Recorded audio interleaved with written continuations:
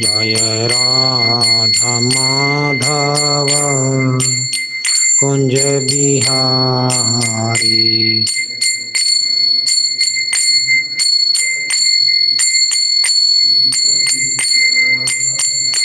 जय गोपी जन बल्लभ गिरिवरधारी।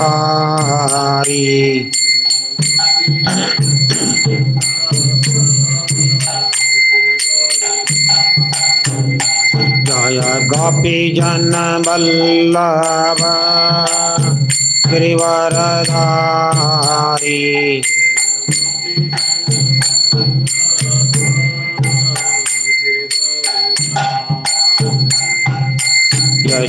यशोधानन्दन ब्रज जन रञ्जन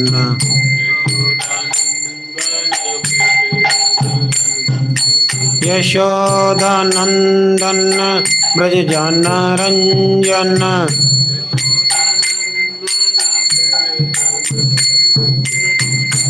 यमुना तीरा वन वनचारी।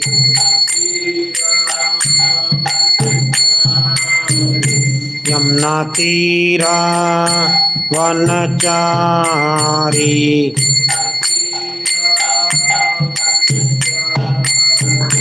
जय राधा माधव। कुंज बिहारी।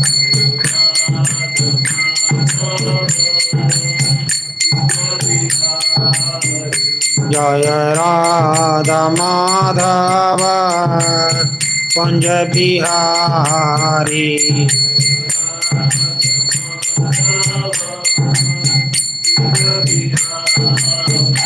हरे कृष्ण हरे कृष्ण।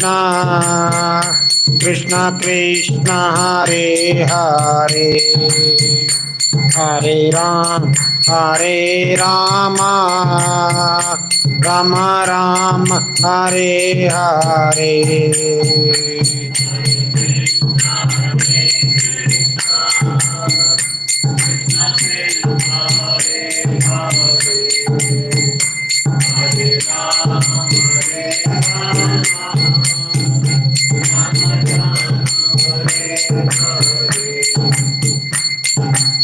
हरे कृष्णा हरे कृष्णा कृष्णा कृष्णा, हरे हरे हरे राम हरे Ram Ram Ram, Hare Hare.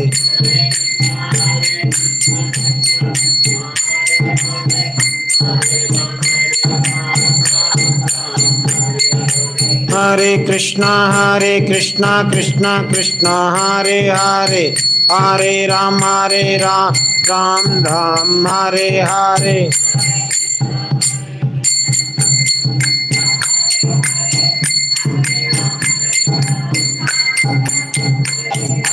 Hare Krishna, Hare Krishna, Krishna Krishna, Hare Hare, Hare Ram, Hare Ram, Ram Ram, Hare Hare.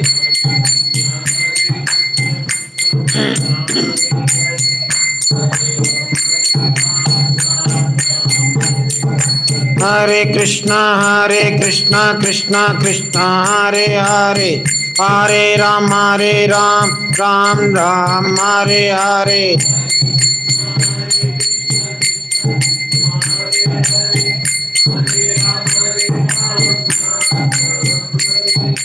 हरे कृष्णा हरे कृष्णा कृष्णा कृष्णा, हरे हरे हरे राम हरे राम राम राम, हरे हरे।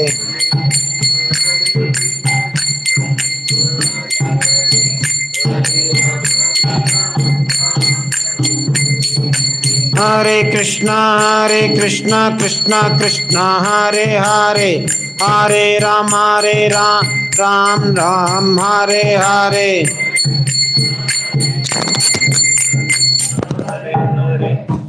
हरे राम हरे राम राम राम हरे कृष्णा कृष्णा कृष्णा हरे हरे हरे राम हरे राम राम राम हरे हरे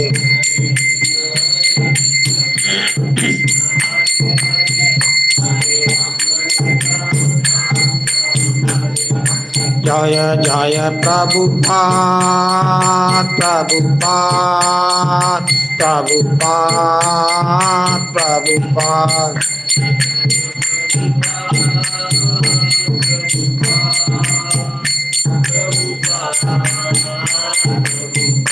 जय वैष्णव ठाकुर जय वैष्णव ठाकुर।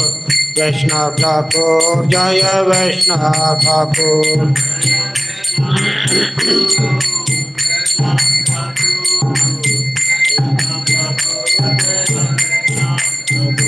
जय जय प्रभुपाद प्रभुपाद प्रभुपाद प्रभुपाद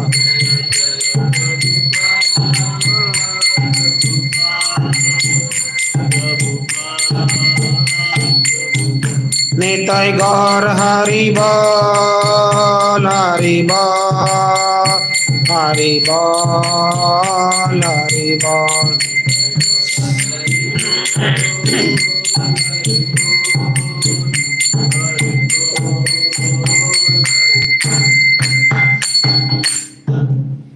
संकीर्तन की जय, हरिनाम संकीर्तन धर्म की जय जगत गुरु शील प्रपात की जय, श्री भीषम अष्टमी महामहोत्सव की जय, श्री श्री भीषम पितामह त्रिभाव दिवस महामहोत्सव की जय। गौर प्रेमानंदे हरे हरे बोल। हरे कृष्णा। तो आज भीषम अष्टमी है, भीषम देव जी का त्रिवा दिवस। तो आज भीषम देवी जी की महाभारत से पास्ट टाइम्स जो हैं, उस पर चर्चा करने का प्रयास करते हैं थोड़ी देर के लिए। मंगलाचरण करते हैं पहले। ओम अज्ञानतिमिरानन्दस्य ज्ञानञ्जनशलाकया चाक्षुरुन्मिलितं येन तस्मै श्रीगुरवे नमः। श्रीचैतन्यमनोभीष्टं स्थापितं येन भूतले। सम्भूपा कदा मह्यं ददाति सपदान्तिकम् वन्देऽहं श्रीगुरो श्रीयुत्पत्कमलं। श्रीगुरून् वैष्णवाश्रश श्रीरूपं सग्रजातं सैगं रघुनाथान्वितं तं शिवं। सावदेतं सावधूतं प्रजनसहितं कृष्णचैतन्यदेवं। श्रीराधाकृष्णपादान् सैगं ललिता श्रीविशाखान्विताश्च नमः विष्णुपादाय, कृष्णपेष्ठाय, भूतले। श्रीमते भक्तिवेदान्तस्वामिनिति नामिने। नमस्ते सरस्वते देवे गौरवाणी प्रचारिणे। निर्विशेष शून्यवादी पाश्चात दिशतारिणे। नमो महावधान्याय कृष्ण प्रेम पदायते। कृष्णाय कृष्ण चैतन्य नामने गौर विषय नमः। हे कृष्ण करुणा सिंधु दीन बंधु जगतपते। गोपेश गोपिका कांत राधा कांत नमोस्तुते तप्त कंचन गौरांगी, राधे वृंदावनेश्वरी विश्वानुस्ते देवी परमामी हरिप्रिय। वाञ्छाकल्पतरुभ्यश्च कृपा सिंधु भैमीं च पतितान्नं पावनेभ्यो वैष्णवेभ्यो नमो नमः। जय श्री कृष्ण चैतन्य प्रभु नित्यानंद श्री अद्वैत गदाधर श्रीवासाधिकार भक्तवृंद हरे कृष्ण हरे कृष्ण कृष्ण कृष्ण, हरे हरे। हरे राम हरे राम राम राम, हरे हरे। हरे कृष्ण। तो भीष्म पितामह जो है, उनका नाम आता है बारह महाजन में महान जन है जिन्होंने कि अपने पूरे जीवन भर भगवान की भक्ति किस तरह करनी चाहिए, वो हमें सिखाया। भीष्म पितामह के साथ टोटली एडवर्स सिचुएशन थी पॉजिटिव सिचुएशन नहीं उनके साथ बिल्कुल एडवर्स सिचुएशन थी राजमहल में रह रहे हैं राज परिवार के बीच में हैं राजा है नहीं सेवक के रूप में चाचा ताऊ भी हैं पिता में भी, भी हैं हर लेवल पे अपने पिता की सेवा पहले की फिर उसके बाद में किसकी सी की? अपने भाइयों की सेवा की। उसके बाद में अपने पुत्रों की पड़पोत्रों की हर लेवल पे सिर्फ़ ओनली ओनली सर्विस कभी भी ये क्लेम नहीं किया कि आई एम द ऑनर और अपने आचरण से उन्होंने हर जगह में शिक्षाएँ प्रदान की। तो इनके बारे में, इनकी जो परंपरा है, वो आती है भगवान विष्णु से विष्णु से ब्रह्मा जी। ब्रह्मा जी के बाद में डाइवर्ट है अत्रि मुनि देन चंद्र बुद्ध पुरुर्वा यम में पढ़ते हैं नहुस ये आती, पुरु, ये इनकी परंपरा में है, काफ़ी लंबी परंपरा दी हुई है। उसके बाद में लेटेस्ट आती है प्रतीप, शांतनु और विषा तो इनके जन्म के बारे में और बचपन के बारे में, इनका बचपन में नाम देवव्रत था। और ये अपने माता पिता के सातवें आठवें पुत्र थे। इनके बारे में जो कथा दी हुई है, एक राजा थे महाभिषेक, जो कि सूर्यवंशी राजा थे। उनकी मृत्यु हो गई मृत्यु के बाद में उनको विष्णु लोक मिला। बैकुंठ में चले गए। तो बैकुंठ से कई बार क्या करते थे, वो राज कार्य करने के लिए ब्रह्मलोक में आते जाते रहते थे। ब्रह्मा जी के लोक में आए, फिर सत्य लोक में फिर चले गए। तो एक बार ब्रह्मा जी के वहाँ असेंबली चल रही थी। असेंबली में गंगा जी आई हुई थी और बाकी काफ़ी दूसरे रोजा, बाकी लोग भी थे और वहाँ पे एटमॉस्फेयर तो क्या था, बहुत पवित्र हमारे यहाँ से काफ़ी ऊपर ब्रह्मलोक और वहाँ का एटमॉस्फेयर क्या है, हमेशा always auspicious atmosphere pious atmosphere तो वहाँ पर किसी के मन में भी कोई भी किसी तरह से कलमश नहीं आता है। नेगेटिविटी कोई नहीं होगी वहाँ पे।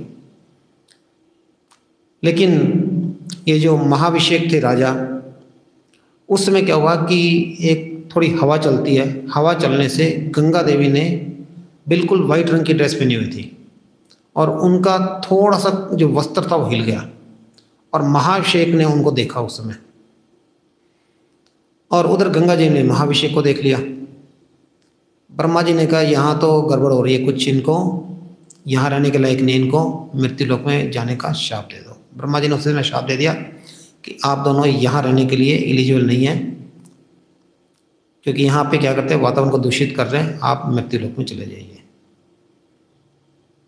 तो गंगा जी भी क्षमा मांगते कि मेरे से अपराध हो गया, मुझे क्षमा कर दीजिए अपने ब्रह्मा जी से, और महाभिषेक भी। तो ब्रह्मा जी ने क्या किया? वो कहते हैं कि शाप तो अब मैंने दे दिया, अभी तो मैं पूरा तो ख़त्म नहीं कर सकता, लेकिन इसको पार्शली ख़त्म कर सकता हूँ।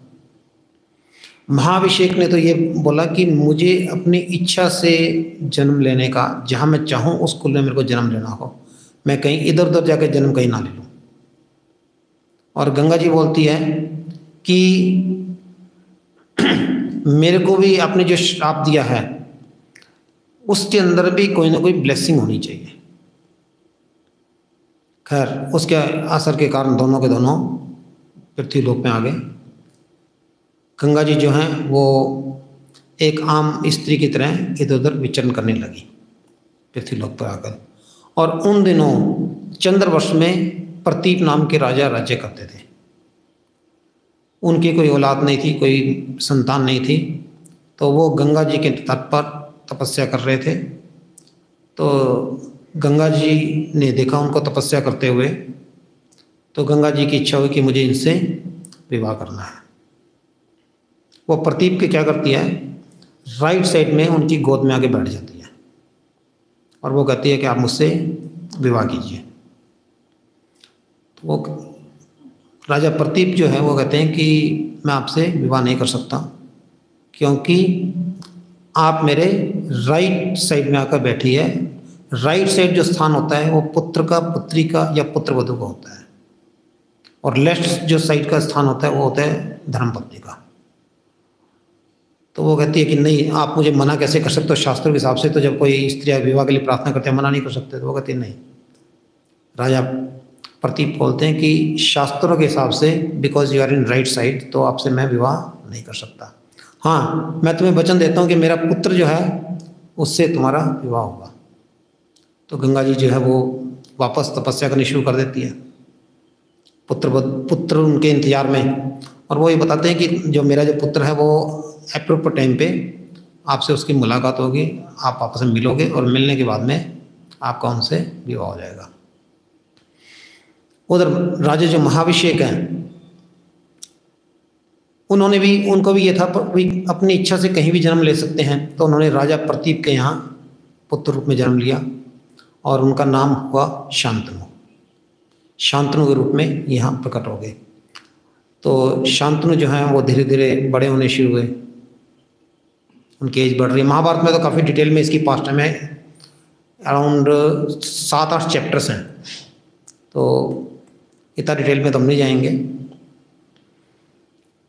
तो वो बड़े होने शुरू हुए। तो एक दिन वो वन में घूम रहे थे तो उनकी गंगा जी पे दृष्टि पड़ी। तो उन्होंने इच्छा ज़ाहिर की कि मैं तुमसे विवाह करना चाहता हूँ। तो गंगा जी ने भी उनको बोला कि ठीक है, मैं आपसे विवाह करने के लिए तैयार हूँ, लेकिन कुछ कंडीशन है। कंडीशन क्या है? कि आप एक तो मुझसे ये नहीं पूछेंगे कि मैं कौन हूँ, मेरे इंट्रोडक्शन नहीं पूछेंगे।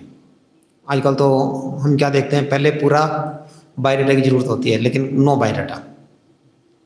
और कभी भी आप मेरे पे क्रोध नहीं करेंगे। और जो भी कार्य मैं करूँगी, आप मुझे कभी भी रोकेंगे नहीं। दोनों का विवाह हो गया। विवाह होने के बाद में अब पहली संतान हुई।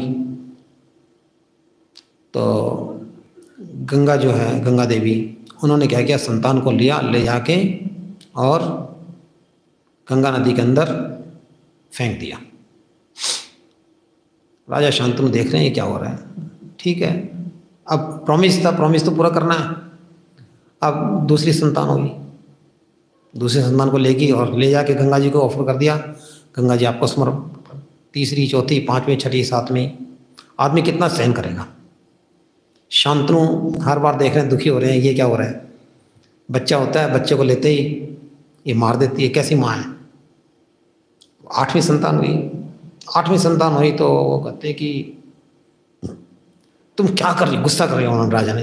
तुम हर बार मेरी संतान होते और उसको तुम गंगा में डालाती हो, क्या कर रही हो? वो कहते हैं, अब अपना एग्रीमेंट कैंसिल एग्रीमेंट यही तक था, जब आप मेरे से क्रोध नहीं करोगे अब हमारा एग्रीमेंट जो है, यहाँ पे आके कैंसिल हो जाता है। अब मैं जाने के लिए यहाँ से स्वतंत्र में जा रही हूँ यहाँ से। तो ऐसे कैसे जा सकती हूँ? नहीं, अब तो आपने क्रोध कर लिया और फिर से पूछ लिया, मैं क्यों कर रही हूँ? अब मैं आपको जो आपने पूछा है, उसका पूरा जवाब दूँगी, उसका पूरा आंसर दूँगी और आंसर देके मैं चली जाऊँगी। तो देवताओं में जैसे बारह आदित्य होते हैं, ऐसे आठ बसु हैं ग्यारह रुद्र हैं, इस तरह करके तैतीस मेन देवता हैं। तो उसमें अष्ट बसु हैं। अष्ट बसु जो हैं, उनके अंदर एक बसु का नाम था द्यू।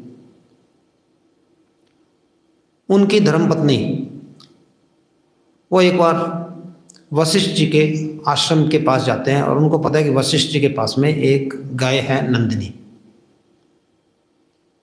तो नंदिनी की पास टाइम तो हमने कई बार सुनी होगी विश्वामित्र वाली पास टाइम के अंदर विश्वामित्र जी भी नंदी के पीछे थे, कई जने हैं। और इवन और भी कई पास टाइम है नंदिनी से रिलेटेड तो यहाँ पर भी उनकी इच्छा ये हो कि नंदिनी जो गाय है, वो चाहिए। तो उनके पति जो हैं, वो कहते हैं, ठीक है, ये तो कोई छोटी सी बात है। हम तो देवता हैं, हम तो कुछ भी कर सकते हैं। तो यहाँ पे क्या है उनका अभिमान। कि मुझे पावर मिली है, मुझे पोजीशन मिली है। मैं अपनी पावर का, अपनी पोजीशन का, अपनी इंद्र तृप्ति के लिए उसको मिसयूज़ करना। और मिसयूज़ करने का उसका रिज़ल्ट क्या होता है, वो यहाँ पे आगे आएगा।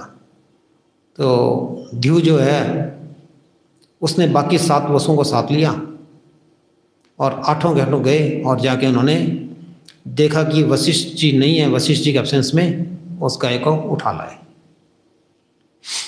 अब वशिष्ठ जी वापस आए तो आके देखते हैं कि गाय तो यहाँ से गायब है, क्या करें? अपनी दिव्य दृष्टि से देखते हैं, पता लग गया कि ये अष्टवसु जो है इनको लेके गए हैं। तो वो अष्टवसु उसको शाप देते हैं कि तुम सब मृत्यु लोक में चल जाओ। तो मृत्यु लोक में आना भी क्या है एक? कर्स है हम सब के लिए। हम हम सब भी मृत्यु लोक में आए हुए हैं कर्स हमारे लिए। कर्स भी है, वरदान भी है। वरदान क्या है? एटलीस्ट यहाँ पर इस लोक में रहकर हम भक्ति करके वापस भगवत हम जा सकते हैं। इतना वरदान भी है हमारे लिए। लेकिन मेटलिस्ट लोगों के लिए ये कर्स है। अभिशाप है कि यहाँ के सफरिंग्स भौतिक संसार, क्योंकि ऊपर के लोगों में सफरिंग कम है। तो अष्ट वसु जो है, वापस वशिष्ठ जी के पास पहुँच गए। देवताओं के साथ ये है कि देवता और में डिफरेंस क्या? देवता जब उनको पता लगता है कि हमारे साथ कुछ गलत होने वाला तो इमीजिएटली रियलाइज़ करते हैं एंड सॉरी बोलने में, माफ़ी मांगने में लेट नहीं करते हैं। और असुर क्या होगा कि वो अपने एक्ट को हमेशा जस्टिफाई करता रहेगा, हमेशा कि मैंने जो किया वो सही है, बाकी सब गलत है। लेकिन क्योंकि अष्टवसु देव हैं, देवता हैं तो उन्होंने अपने मिस्टेक को रियलाइज़ किया और जाके वशिष्ठ जी से उन्होंने क्षमा याचना की। ये गंगा देवी अपने पति को, शांतनु को सुना रही है। तो अष्टवसु जो हैं, जब वशिष्ठ जी के पास गए तो वशिष्ठ जी महान आचार्य हैं तो उन्होंने क्या किया? उन्होंने भी क्षमा कर दिया। लेकिन कहते हैं, मैं शाप तो वापस नहीं ले सकता। इतना होगा कि सात जो वसु हैं, जिन्होंने की ध्यो की हेल्प की है, वो पृथ्वी लोग पे जाएँगे और जाते वापस आ जाएँगे। रुकेंगे नहीं, वहाँ वेट नहीं करेंगे। और जो आठवां है, इसको वहाँ पर बहुत लंबे समय तक रहना होगा। और आठवां जो है, इसको कभी भी स्त्री सुख की प्राप्ति नहीं होगी। लेकिन इसका ऐश्वर्य, इसका जो बहुत ज़्यादा होगा। बहुत ऐश्वर्यशाली होगा ये। और बहुत बड़ा इसका नाम होगा। तो अब वो सेवा दे दी उन्होंने गंगा जी को। गंगा जी भी इन यहीं पे हैं। तो गंगा जी क्या करेंगी? गंगा जी की कोख से आप जन्म लेंगे एक एक करके और उसके बाद में सात तो इमीजिएटली वापस आ जाएँगे और आठवें को वेट करनी पड़ेगी। तो ये सात कौन थे? जिनको गंगा जी एक एक करके नदी में डाल रही थी, गंगा जी में डाल रही थी, गंगा देवी। तो ये सात तो वापस चले गए अपने अपनी धाम में, अपने अपने जो उनके ड्यूटीज़ थे जहाँ पे, अपने लॉक में। और आठवें जो हैं, वो वहीं पे रह गए। अब शांतनु कहते हैं कि, अब मैं इसको कैसे पाल पोस के बड़ा करूँगा? मेरे लिए तो मुश्किल है। अब इसको क्या करो? मैं, तुम इसको रखो अपने साथ और जब ये यंग हो जाए तो ले आना उसको वापस शिक्षा वगैरह देने के लिए। तो गंगा जी कहती है, ठीक है, मैं इसको लेके जाती हूँ। तो वशिष्ठ जी के आश्रम में उसको उनको शिक्षा प्राप्त हुई। देन परशुराम जी के आश्रम में भी उन्होंने जाके शिक्षा प्राप्त की। पूरा अस्त्र शस्त्र जो भी नॉलेज था, सारा उन्होंने प्राप्त कर लिया। भीष्म जो देवव्रत उन बालक का नाम रखा गया। अब धीरे धीरे करके इस बात को बत्तीस साल बीत गए।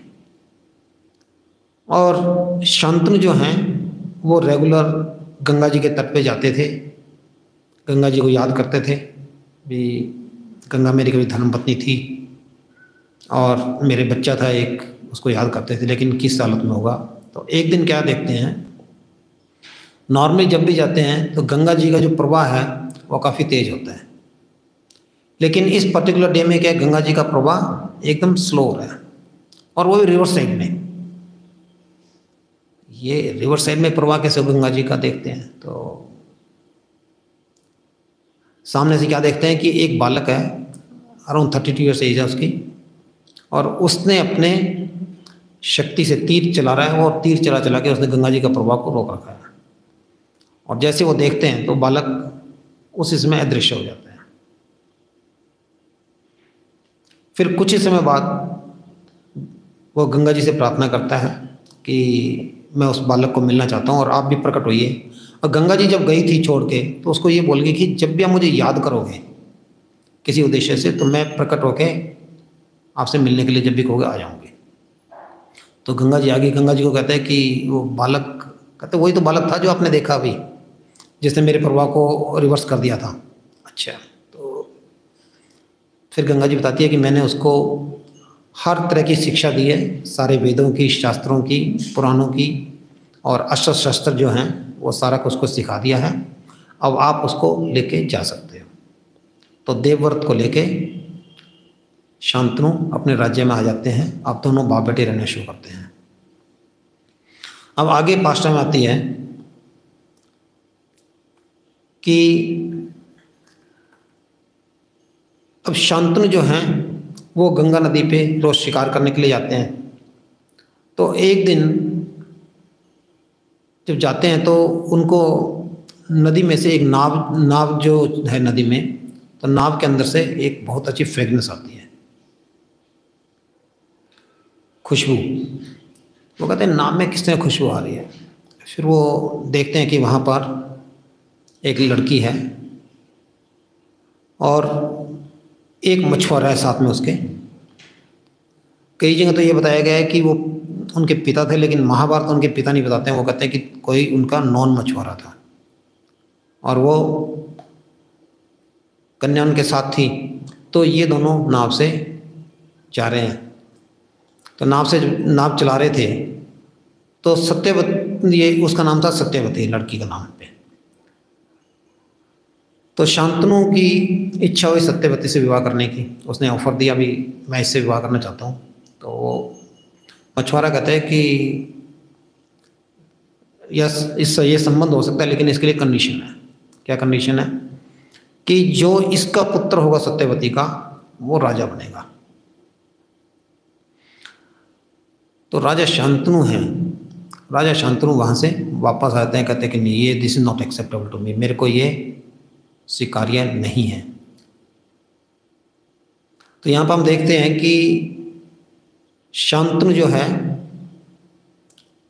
हालाँकि उनकी विवाह करने की इच्छा है, लेकिन अपनी इच्छा का वहाँ पर दमन कर रहे हैं, जो अपनी ड्यूटीज़ हैं, उसको पूरा करने के लिए कि मेरे मेरे पुत्र के प्रति ड्यूटी है, मेरे राज्य के प्रति जो ड्यूटी है दैट इज़ इम्पोर्टेंट तो वो मना कर देते हैं। अब देवव्रत जो हैं वापस आ जाते हैं तो देवव्रत सोचते हैं कि मेरे पिताजी कल थोड़ा सा सुस्त हैं, उदास हैं तो एक दिन पिताजी के पास जाते हैं। पिताजी, आप बड़े सुस्त देख रहे हो, क्या कर रहे हैं? तो वो उनको पूरी स्टोरी नरेट कर देते हैं कि इसी तरीके से मैं एक दिन गया था और मेरी विवाह करने की इच्छा थी। और विवाह क्यों करना चाह रहा था? वो कहते हैं कि शास्त्र में बताया गया है कि यदि किसी के, ये मनु संहिता में है यदि किसी के सिर्फ़ एक पुत्र है तो उसकी मदर को क्या बोला गया है? पाँच। एक पुत्र की मदर को। मनु संहिता में। आजकल सबको होता है एक पुत्र है तो प्रैक्टिकली आज की फिलोसफी से। तो इसलिए मैं चाहता हूँ कि मेरे और भी पुत्र हों, और मैं विवाह करना चाहता था, लेकिन वहाँ से कंडीशन इस तरह की थी कि मैं कुछ नहीं कर पाया। Then I came back condition मैं इस तरह की स्वीकार नहीं कर सकता। अब एड्रेस क्या है? कुछ है, कुछ भी नहीं पता। तो देवव्रत ने क्या किया? उन्होंने रिसर्च करनी शुरू की। मंत्री के पास गए। मंत्री के पास गए कि राजा कहाँ कहाँ गए थे? पिताजी, पता किया। फिर जो उनकी, जो पर्सनल ड्राइवर था मोटर कार थी ड्राइवर को पकड़ा। उसको बोला कि आज मुझे वहाँ पे लेके चलो। वहाँ पे लेके चले गए। लेके जाके वो जाके सत्यवती से और उसके जो केयर टेकर है उससे मिले। और जाके पूछते हैं जाके बोलते हैं कि मैं सत्यवती का हाथ अपने पिता के लिए मांगने के लिए आया। अभी देख लीजिए, बेटा जो है पिता की शादी के लिए तैयारी कर रहे हैं। तो उन्होंने बोला कि एक कंडीशन थी, हमारे पास आए थे, एक कंडीशन थी कंडीशन जो है फुलफिल होगी तो ठीक है। तो कंडीशन फुलफिल कैसे होगी? कंडीशन तो वो कहते हैं कि ठीक है, ये तो छोटी सी बात है। देवव्रत बोलते हैं, ये तो छोटी सी बात है। राज्य जो है, मैं स्वीकार नहीं करूँगा। और जो इसका जो वंशज होगा, सत्यवती का, वो राज्य स्वीकार कर लेगा, जो पुत्र होगा। वो मछुआरा कहता है कि फिशरमैन कि यस फ़र्स्ट कंडीशन तो तुमने मीट कर दी। लेकिन अब तुम्हारी उम्र तो बत्तीस साल है और अब तुम्हारी मैरिज होने वाली है। जल्दी मैरिज हो जाएगी। और इसके पुत्र और तुम्हारे पुत्र बराबर एज के होंगे। सत्यवती के पुत्र और आपके पुत्र बराबर एज में होंगे। तो कल को बच्चों में आपस में झगड़ा हो जाएगा। होता है ना झगड़ा? तो झगड़ा हो गया तो फिर उसको कौन सुलटाएगा? वो कहेंगे, मैं राजा हूँ, मैं राजा हूँ। और उसके बाद में हो सकता है आप उनकी साइड ले लो। बिनोनो।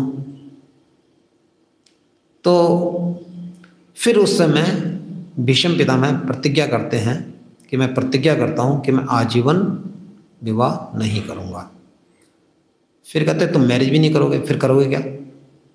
फिर वो तीसरी प्रतिज्ञा करते हैं कि मैं पूरे जीवन भर जो भी राज्य सिंहासन पर बैठेगा, उसकी रक्षा करूँगा। तो तीन प्रतिज्ञा क्या है? भीष्म प्रतिज्ञा करते हैं। एक्स्ट्रा ऑर्डनरी प्रतिज्ञा। सेवक के रूप में पूरे जीवन भर जो कि राजा बनने का अधिकारी है, वो पूरे जीवन के लिए सेवा को स्वीकार कर रहा है। विवाह करने के लिए जो अधिकारी है, वो क्या कर रहा है? पूरे जीवन भर ब्रह्मचारी रहने का। और जब हमने शुरू में बात की थी डिस्कस किया था कि किस कंडीशन में पूरे राजभवन के ओपोलेंस में, ऐसे राजभवन जहाँ की हर तरीके की फैसिलिटीज़ अवेलेबल है, उन फैसिलिटीज़ के बीच में रहना।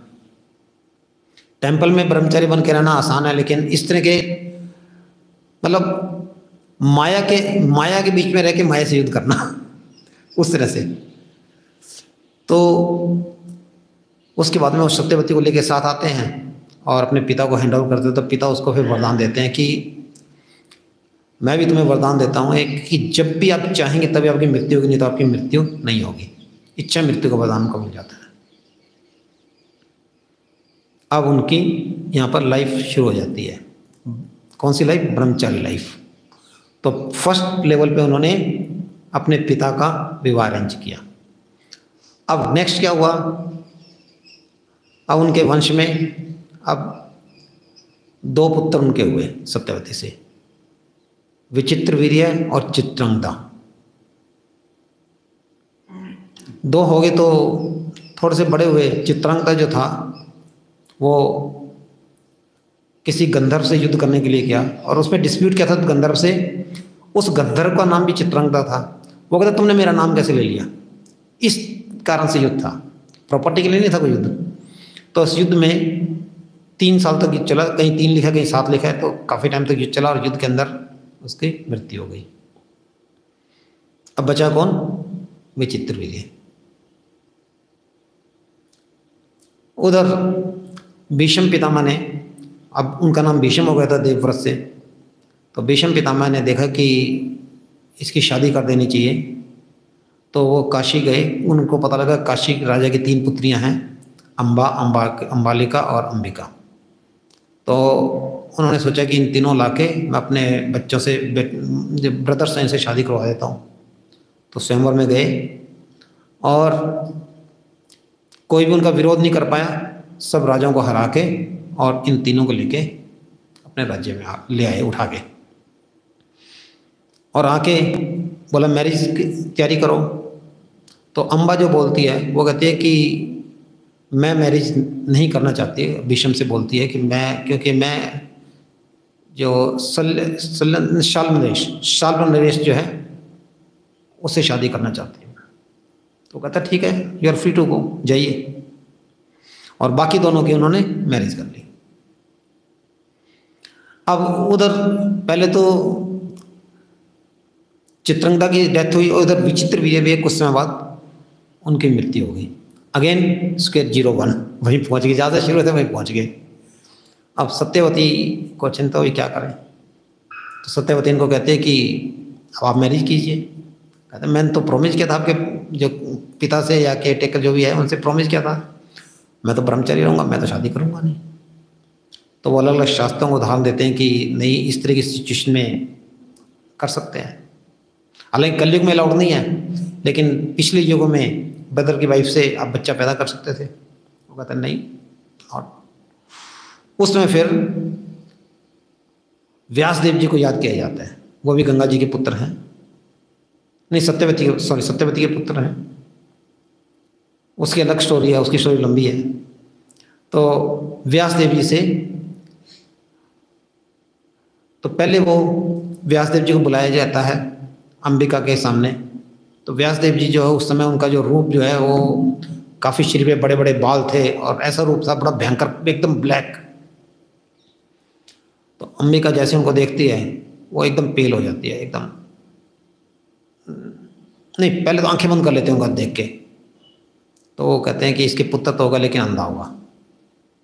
देन नेक्स्ट अम्बालिका अम्बालिका एकदम पेल हो जाती है, घबरा जाती है। लेकिन आँखें खुली रहती है तो कहता है इसके पुत्र जो है, वो पंगु होगा, उसका नाम पांडु होगा। उसको पेल की बीमारी होगी तो और तीसरा जो है, कहता तीन पुत्रों के लिए बोला था, कहता तीसरे के लिए तो फिर दासी थी, उसको भेज दिया। ये दोनों कहती हम तो नहीं जाती। तो दासी आ गई नेक्स्ट तो दासी ने उनकी खूब सेवा की, व्यासदेव जी की, और फिर कहते हैं कि इनसे एक बहुत विद्वान बच्चा पैदा होगा तो इस तरह करके फिर वंश चलाने के लिए तीन जो हैं, एक युधिष्ठर देन पांडु देन विदुर विदुर दासी पुत्र हुए। इन ये तीनों धीरे धीरे बड़े होने शुरू हो गए। तो अब पांडु जो हैं, वो युद्ध करने के लिए गए और वहाँ पे वो वन में गए और वन में उन्होंने वो लंबी स्टोरी आ गया उन्होंने शरीर छोड़ दिया और इधर युधिष्ठिर जो है सॉरी धृतराष्ट्र जो है, वो राजा बने। केयर टेकर, परमानंदी। अब देखो शांतनु से किन की सेवा पे आ गए वो विचित्र विजय की सेवा की। और अब धृतराष्ट्र की सेवा में आ गए। तो सेवा ही कर रहे हैं।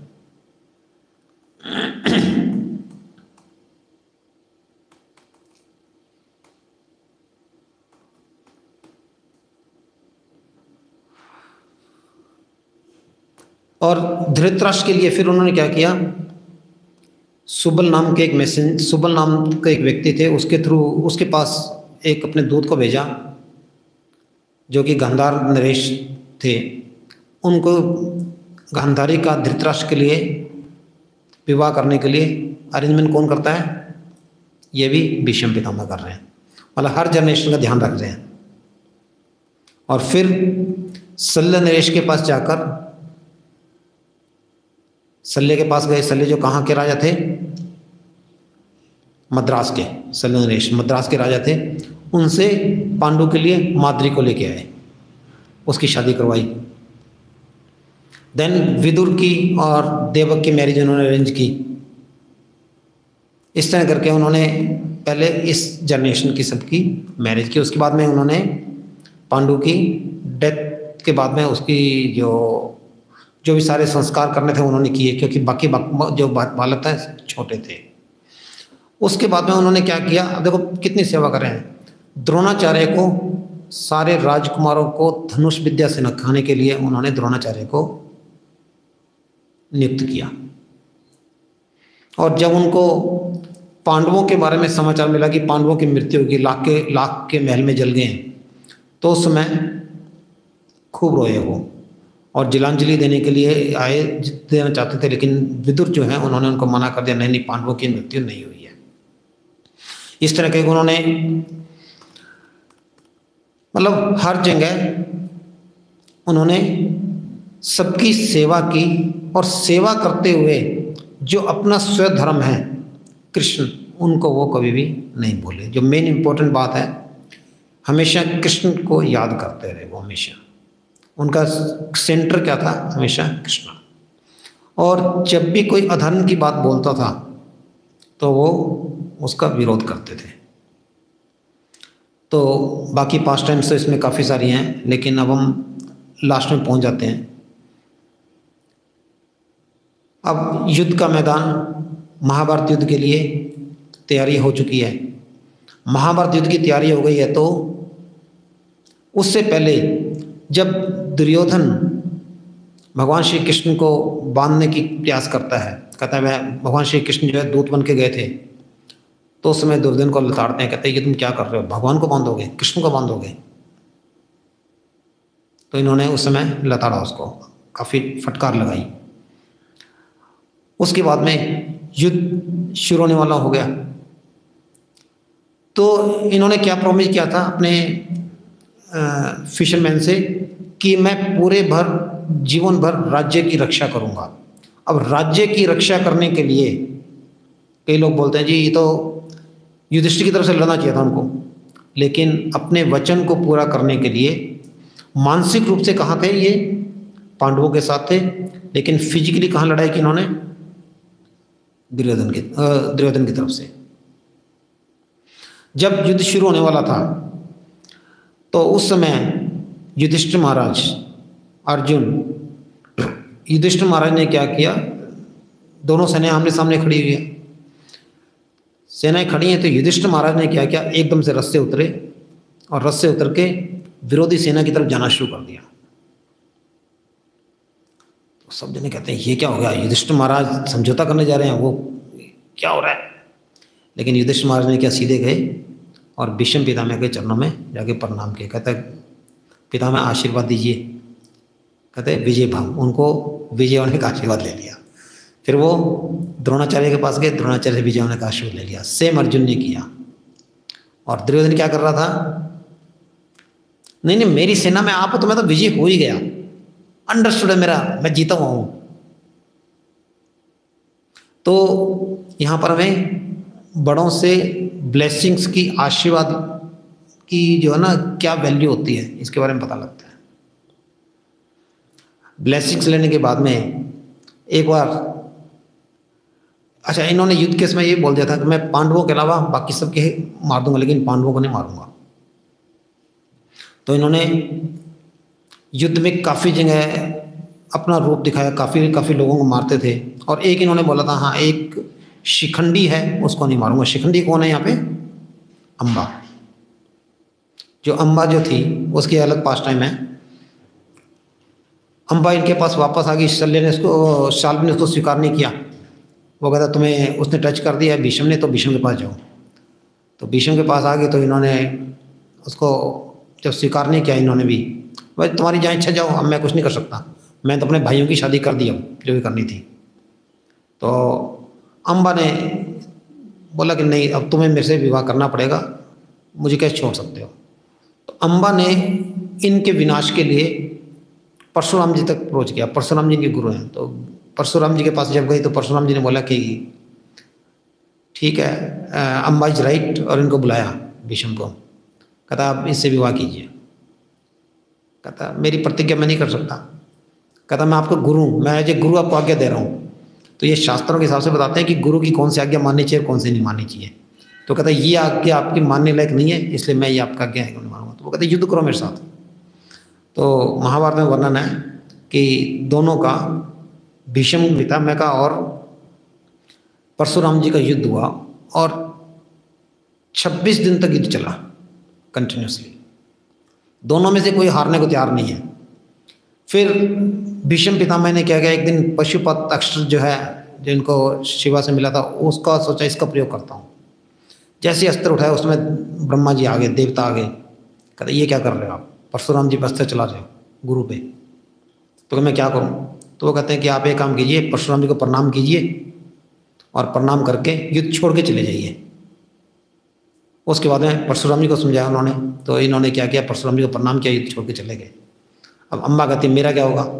अब परशुराम जी कहते, तुम्हारा तुम जानो। तो अम्बा ने फिर तपस्या करनी शुरू की, घोर तपस्या की और तपस्या करके उसने अगला जीवन किसके लिए? मेरे को भीष्म पितामह की मृत्यु का कारण बनना है। उस कारण से जीवन लिया। और उसका जन्म किस रूप में हुआ? लड़की के रूप में। उसके पिता ने तपस्या की थी, द्रुपद ने मुझे लड़का प्राप्त हो। लेकिन वो लड़की के रूप में आई। तो उन्होंने बोला कि हमने तो लड़के के लिए तपस्या की थी, इसलिए इसको हम क्या करते हैं? लड़के की तरह ड्रेसिंग करते हैं। उनको लड़के की तरह कपड़े बनाते थे, लड़के की तरह उसका व्यवहार करते थे। बाद में अलग स्टोरी है कि वो फिर लड़का भी बन गई थी वो। तो ये भीषम पितामह को पूरी स्टोरी का पता था। तो भीष्म पितामह का मैं शिखंडी क्योंकि स्त्री है, उस पर वार नहीं चलाऊँगा। और भगवान श्री कृष्ण को भी पता था। तो भगवान श्री कृष्ण ने अर्जुन को बोला कि जब भीषम पितामह को मारने की बारी आएगी तो शिखंडी आगे रहेगा। पीछे से अर्जुन बाँध चलाएगा और शिखंडी आ गया जैसे शिखंडी रहेगा तो भीष्म पितामह युद्ध करने से युद्ध उस पर वार नहीं करेंगे। तो इसी तरह हुआ। प्रतिज्ञा। भगवान जो है अपनी प्रतिज्ञा को छोड़ देते अपने भक्त की प्रतिज्ञा को पूर्ण पालन करते हैं। तो ऐसे युद्ध के समय एक और हुआ कि भीष्म पिता मैंने प्रतिज्ञा की कि आज मैं पांडवों से किसी एक को मारूँगा। और भीषम युद्ध करूँगा। तो युद्ध हुआ, काफ़ी भयंकर युद्ध चल रहा है। और इनके जो बाण हैं, वो अर्जुन पे लगातार आ रहे हैं। तो भगवान श्री कृष्ण ने एक बार देखा कि ये तो अर्जुन का बचाना मेरे लिए मुश्किल हो रहा है। तो भगवान श्री कृष्ण उतरे और वहाँ पे इन्होंने बोला था, यदि पांडवों को बचाना है तो भगवान को क्या है अस्त्र शस्त्र कृष्ण को उठाना पड़ेगा। भगवान ने क्या वायदा किया था? मैं इस युद्ध में कोई भी अस्त्र शस्त्र नहीं उठाऊँगा, उसका प्रयोग नहीं करूँगा। तो इन्होंने बोला कि ठीक है, अब प्रॉमिस देखते हैं किसका सही होता है, किसका गलत होता है। तो भगवान ने अपने भक्त का प्रॉमिस को रखने के लिए युद्ध में क्या किया? एक चक्का नीचे पड़ता उसको उठा के और भीष्म की तरफ़ दौड़े। जब दौड़ते हैं तो भीष्म पितामह कहते हैं, हाथ जोड़े खड़े होते हैं, भगवान में आपका यही रूप देखने के लिए तो खड़ा था, इसी रूप में मैं दर्शन करना चाहता हूँ। खैर, फिर अल्टीमेटली युद्ध में परास्त हो गए ये गिर गए नीचे। दसवें दिन के युद्ध में, दस दिन तक ये सेनापति रहे। तो दसवें दिन जब युद्ध में गिर पड़े तो उसके बाद में क्या हुआ कि पूरे इनके शरीर के अंदर अर्जुन के तीर लगे हुए थे और तीरों के सैया की तो इनको बोला, पिल्लो की आवश्यकता मुझे। पिल्लो कहाँ से मिलेगा?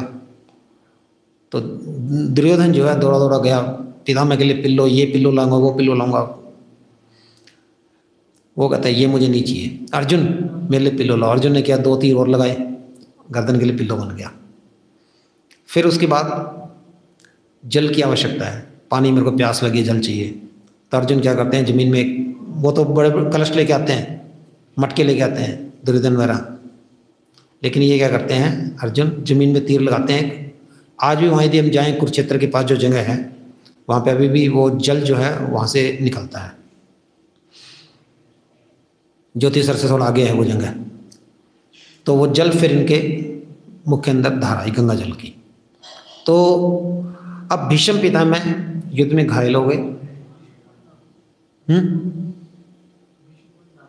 भीष्म कुंड ऐसी कुछ नाम है, यस। मेरे को एग्जैक्ट नाम नहीं पता, पर ज्योतिषर से थोड़ा सा आगे, पाँच, चार, पाँच किलोमीटर आगे है शायद भीष्म कुंडी है। वहाँ पे है। वहाँ हम जाके आए थे एक बार, इसलिए मेरे को पता है। तो कहाँ था, मैं, भीष्म पितामह जो है, वो सैया पे हैं। उसके बाद में युद्ध चलता रहा। युद्ध चलता रहा तो अब ये क्या इंतज़ार कर रहे हैं?